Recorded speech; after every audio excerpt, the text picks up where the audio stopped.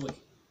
Bom, galera, aqui quem fala é o Tarcísio com o Pedro Miguel. E o Pedro Miguel. O Pedro Miguel agora é presença né, firme e forte. E como vocês podem ver aqui no título embaixo, vamos falar sobre o Tagmar, mas o Pedro quer mostrar uma coisinha antes. O que você quer mostrar pro pessoal, Pedro? Depois a gente pega. É o livro do, Batman. do Batman. Você gosta dele, né? Uhum. Legal. E qual outro livro que você quer mostrar também? Que é o livro da capa favorita dele, né? Porque você gosta muito de Dragões. dragões. Então tá bom, filhão, tá? Obrigadão. Mas eu tô aqui para falar sobre esse aqui, galera, que é o Tagmar. É que é um jogo bacana, que também vai aparecer bastante aqui no nosso canal, porque eu tô fazendo um resgate dos jogos da dos antigos jogos da GSA, né, que é o Desafio dos Bandeirantes, o Millennium já vai aparecer até o final do ano, e pro começo do ano que vem, o Tagmar. Ah, Tarcísio, mas tá diferente essa tua versão aqui. Eu vou falar um pouquinho disso. Bom, galera, o Tagmar, para quem não conhece, foi o primeiro RPG nacional lançado lá no comecinho da década de 90 e, e foi muito pioneiro, embora tenha encontrado certa resistência do mercado, né? O pessoal falava que era cópia de D&D, galera, não tem nada a ver com D&D, exceto pelo fato de que assim como o D&D, o Tagmar também é muito bom. E é uma criação do Marcelo Rodrigues e mais uma galera lá no começo da década de 90. E ele não fez tanto sucesso assim, a GSA fechou na metade da década de 90, mas nos anos 2000 teve um revival do Tagmar. O pessoal começou a, a se mobilizar pela internet. O próprio Marcelo Rodrigues, o, o criador, tomou a frente do projeto e surgiu o, o projeto Tagmar 2, que é até hoje o maior projeto colaborativo de RPG do Brasil que a gente tem. Eles têm um site, deixa eu ver aqui se eu, se eu acho o endereço para falar para vocês, que é o é www.tagmar.com.br. O que é? É um lagarto gigante, filhão.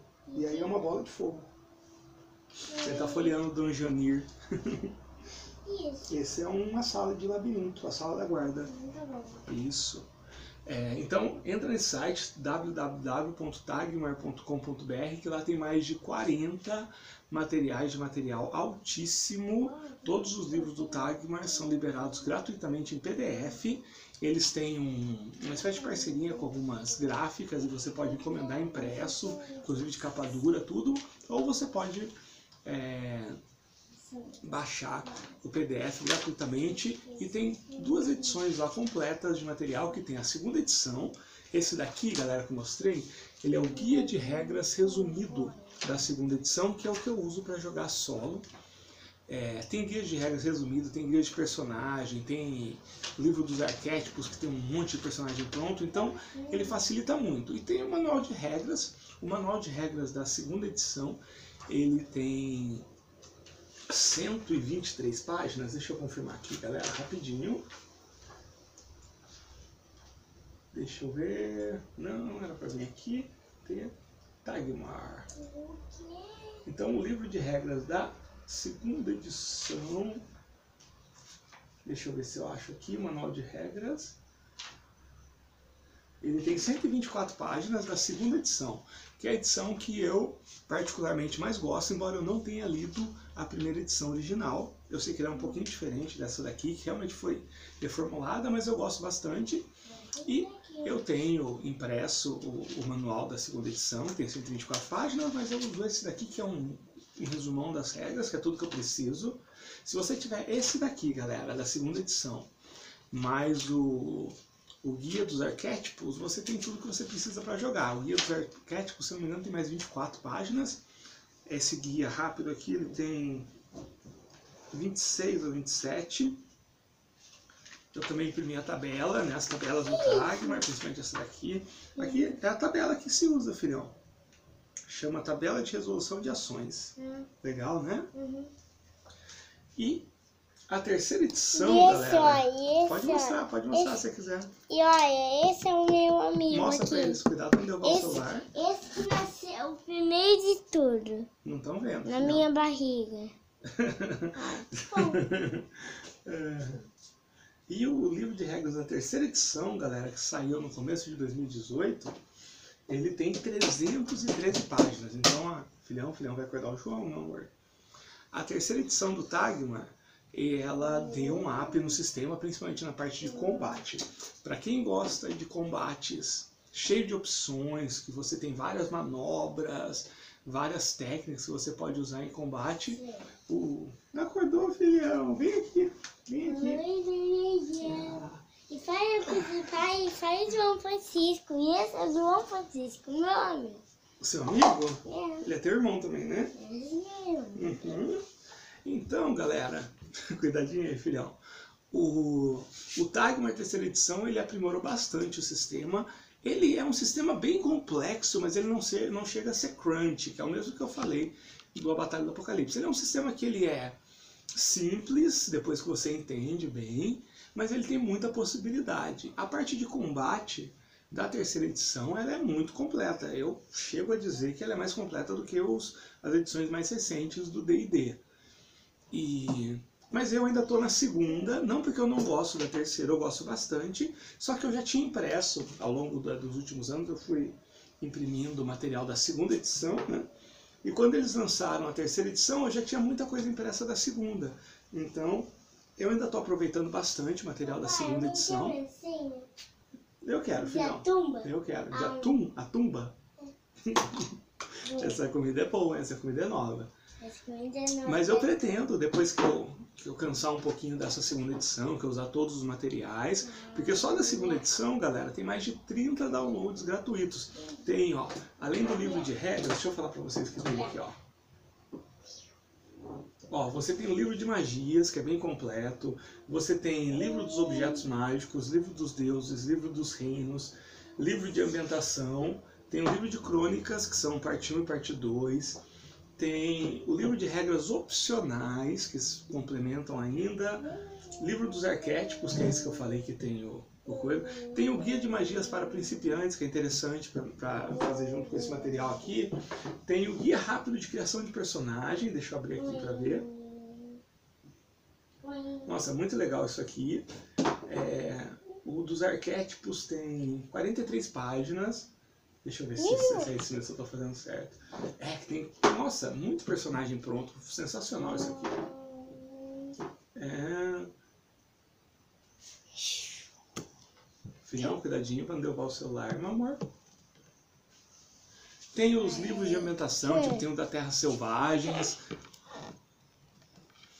Então tem muita coisa. E o da terceira edição, além de ter o guia básico, eles estão reformulando muito material da segunda, adaptando para a terceira edição. Algumas vezes é só uma questão de layout, porque mudou um pouquinho o, o, o design das letras, bem sutil.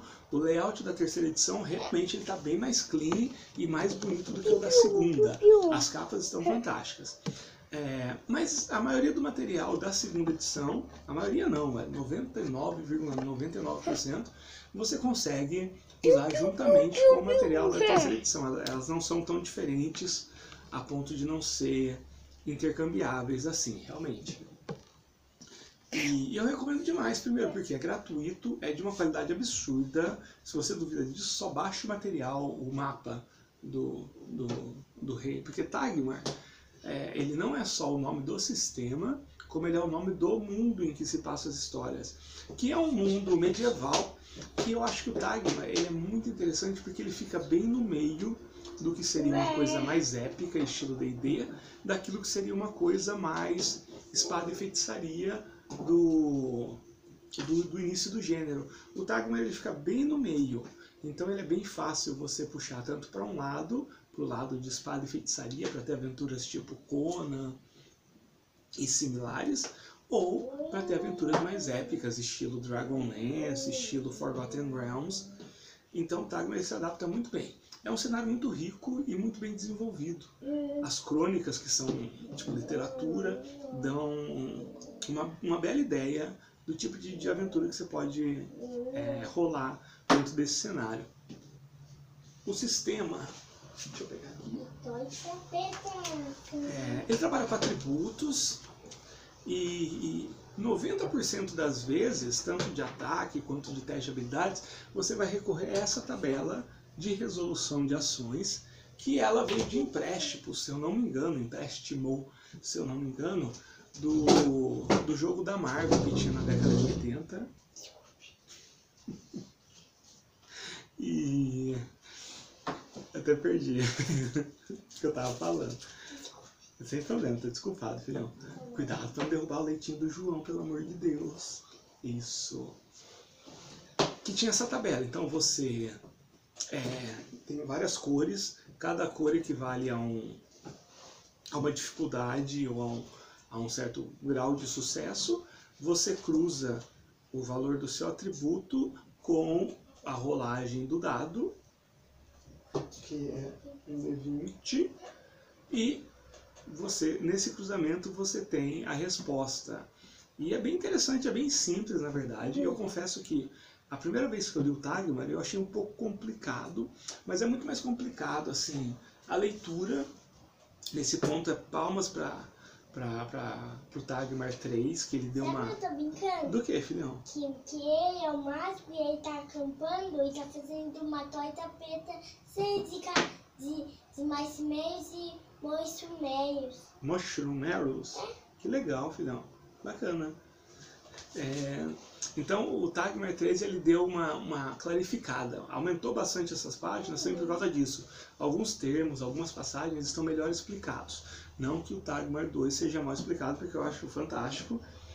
E é isso. Eu lamento muito ter demorado tanto para falar sobre o Tagmar aqui no, no canal. Merecia ter sido falado bem antes. Pode falar, filhão. Você quer assistir TV aqui na sala? Tá bom. Mas tem que esperar pouco vai terminar, tá bom? É, mas eu vou tentar recompensar isso apresentando bastante coisa do Tagmar, fazer um, um gameplay, uma one shot com as regras do Tagmar, tá bom? Hum, pretendo fazer isso até o final do ano, não vou deixar pro ano que vem não, e não vou fazer campanha também, porque é muita coisa, né? Se você entrar nessa do Tagmar, você não sai mais. Então fica aí a dica, aqui embaixo, nos comentários, eu vou colocar o, o link do site do Tagmar, né? Mas é só digitar lá Tagmar no Google, vai aparecer o site, a primeira coisa.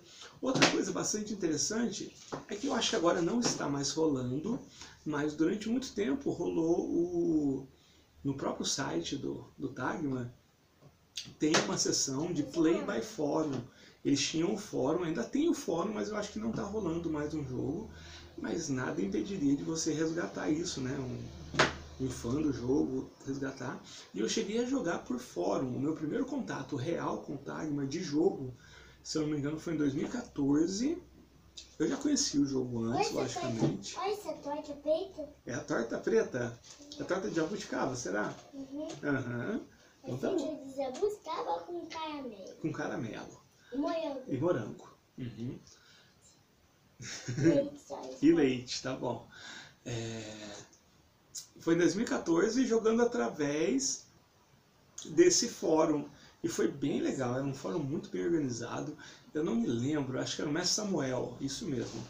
Mestre Samuel, não me lembro o sobrenome dele. Mas era muito bem organizado, assim, dava de 10 a 0 nos Play by Fórum que eu tava jogando com o pessoal lá fora da gringa.